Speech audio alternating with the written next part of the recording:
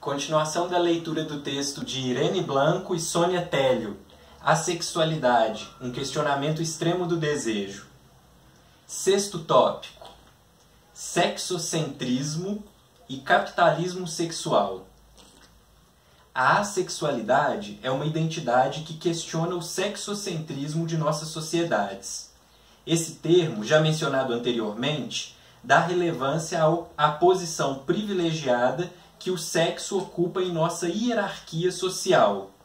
Se trata de um sistema enquadrado dentro do capitalismo, com o qual se retroalimenta através da mercantilização do sexo como elemento corrente. Uma das chaves de permanência do capitalismo é sua capacidade de absorção e mercantilização, inclusive de figuras que põem em questão seus mecanismos e fins. Um exemplo, um exemplo próximo pode ser o capitalismo rosa, no qual a movimentação iniciada pelo movimento homossexual é fagocitada e convertida em objeto de consumo. O que antes era tratado como anomalia, hoje é bem-vindo sempre, é claro, que gere rentabilidade. O caso do sexo se mostra especialmente paradoxal, em razão da polarização de sua concepção no transcurso do tempo. Ao longo da história da humanidade, seja pela religião, pela tradição ou pelo conservadorismo em geral, o sexo foi um elemento que fazia parte da vida, mas que era tratado como um tabu. Paulatinamente, se produziu sua liberação através de diferentes movimentos de abertura, e com essa liberação chegou sua mercantilização.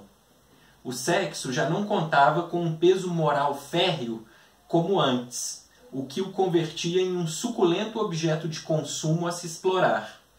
Embora sempre tivesse sido um elemento suscitante de algum consumismo, devido à sua invisibilização na vida pública, ele não ocorria tão abertamente.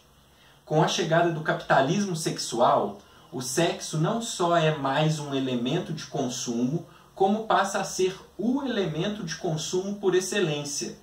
A máxima, o sexo vende, se converte no Pai Nosso de nossas sociedades. O sexo vende até o ponto que, inclusive de sua ausência, é possível extrair benefício econômico. Comprimido azul ou rosa?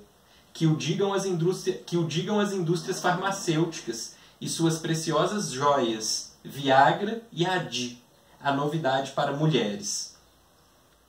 O curioso é analisar os padrões duplos existentes na mercantilização do sexo.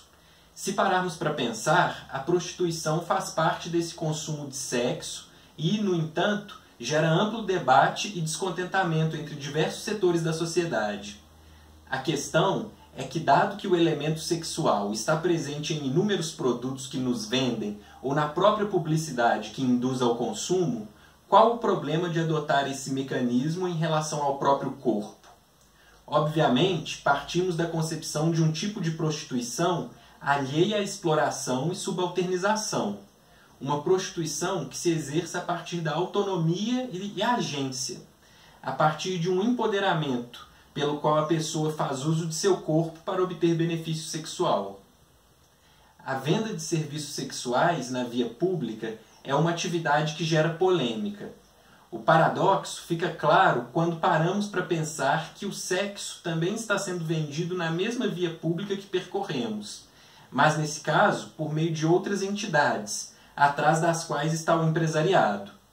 Oferta e demanda andam de mãos dadas entrelaçadas pela publicidade para fazer uso do sexo em múltiplas ocasiões e para colocar à venda produtos que estão longe de ter um conteúdo erótico. É mesmo necessário apelar ao apetite carnal para vender um perfume? O prazer de comer necessariamente tem que estar relacionado ao prazer sexual? Por que comer um chocolate deve ser sinônimo de orgasmo? A hipersexualização é avassaladora e, ao contrário, a prostituição, que coloca à venda um elemento, o próprio corpo, atendendo à finalidade pretendida para aquele serviço específico, relação sexual, pode ser apontada como ofensiva e antiética. Seria uma questão moral ou de competição? O problema é a própria prática ou a competição que ela gera quando realizada a partir da autonomia, sem ser atravessada por conglomerados empresariais. Uma luta, quem sabe, pelo monopólio de um produto como o sexo, que tantos benefícios traz? Esse sexo capitalista que nos é vendido gera um ideal composto por um desejo específico e determinados papéis. O modelo que mais vender será explorado. Se agora a ambiguidade vende, ela será incluída entre os produtos oferecidos, independentemente do que nela supõe a ruptura com os estereótipos estéticos de gênero. A virtude desse sistema é despolitizar qualquer indício de dissidência, despojá-lo de conteúdo crítico e transformá-lo em mercadoria. Por sorte, em contraste com a imposição, surge a alternativa. Contra a pornografia convencional, encontramos, por exemplo, a pornografia subversiva. Mas o que acontece quando não cabemos nas duas caixas possíveis? Ou você pratica sexo seguindo o modelo capitalista, ou pratica seguindo o sexo alternativo. Mas você pratica, você sempre pratica.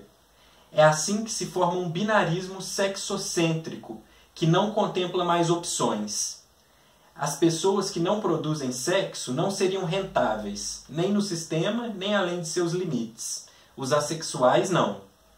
É assim que uma dessas pessoas reproduz sua visão do mundo atual. Início de citação.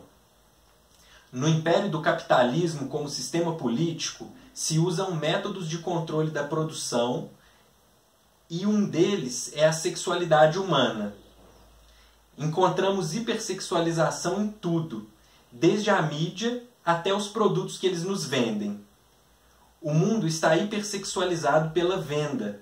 Já não se toma como parte da existência, mas como parte de um intercâmbio comercial entre dinheiro e serviço. Fim de citação. A ausência de rentabilidade vem de mãos dadas com a patologização que recai sobre esse coletivo. Não é normal não se insere nas bases biopolíticas nem socioeconômicas. É uma ameaça ao sistema. Conclusão: é uma doença. Para ilustrar essa questão, faremos uso do conceito de estado terapêutico, cunhado por Thomas Sass, referindo-se aos locais cuja principal preocupação é uma saúde em geral, pelo que se deposita a confiança nas mãos do Estado para que proteja nossos corpos vulneráveis. Essa gestão da saúde, através das instituições, consegue blindar o sexocentrismo. O saber médico-científico também se enquadra nessa hegemonia do sexo e dita diagnósticos embasados nela. Saúde e economia se dão as mãos. Assistimos também a uma mercantilização da sanidade, na qual essa se dobra ao discurso capitalista e fortalece estruturas sistêmicas. Que alternativas temos diante dessa imposição do sexo? Como sair desse monopólio? Como fazer da sexualidade um contínuo? Como incluir essas identidades em nossa sociedade, pouco a pouco, igual se foi fazendo também com outras identidades vistas inicialmente como ameaçadoras? Tomando as palavras de Serge Latouche, o termo decrescimento faz referência à superprodução, à situação agonizante do sistema em que vivemos. Põe-se em questão nossa voracidade de consumo e a sustentabilidade de vida se continuarmos nesse ritmo. Assegura Carlos Taibo. Início de citação. Em sua condição mais geral, o decrescimento implica um compromisso com a desmercadorização de todas as relações, ou, o que é o mesmo, a rejeição de uma ordem marcada pelo lucro privado e pela exploração. Rejeição que vem acompanhada da demanda pela necessidade urgente de nos libertar de uma sociedade marcada pela centralidade do trabalho e pela ideologia do consumo. Fim de citação.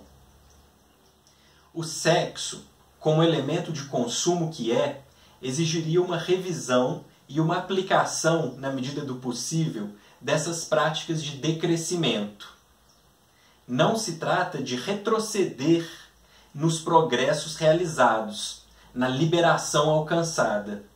A questão é repensar o cuidado, os espaços, refletir sobre a hierarquização de nossas relações afetivas e reivindicar as nuances da sexualidade e da não sexualidade.